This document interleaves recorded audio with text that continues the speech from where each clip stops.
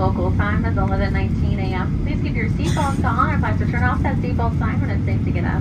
Please leave your things where they are until you've reached the gate. If your phone is closed, you can take it out of airplane mode. For information about connecting flights, check the monitors inside the terminal or use the Alaska Airlines mobile app. On behalf of the employees of Alaska Airlines, a proud member of the One World Alliance, I'd like to thank you for flying with us today.